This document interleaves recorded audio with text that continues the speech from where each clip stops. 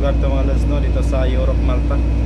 So shout out no sa lahat ng aking mga followers and subscribers sa aking YouTube channel. So don't forget to subscribe no para makikita nyo lahat ng view dito sa iba't ibang lugar, lalong lalo na sa Europe, Malta mga kalods no. Tingnan nyo ang lugar dito no, napakaganda mga lods. Yun.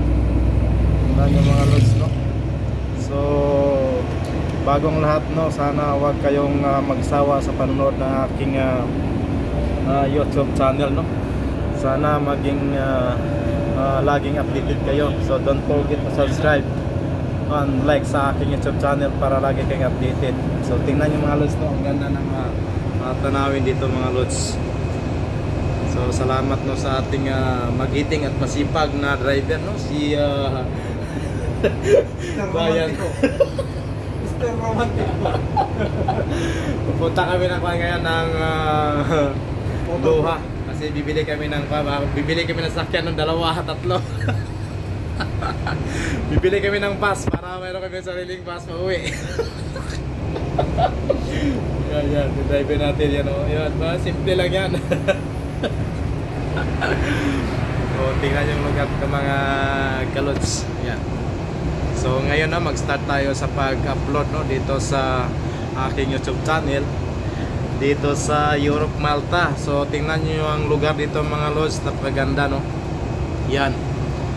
Uh, napakaganda ng lugar dito. So kailangan na uh, hindi kayo magsawa sa panood no.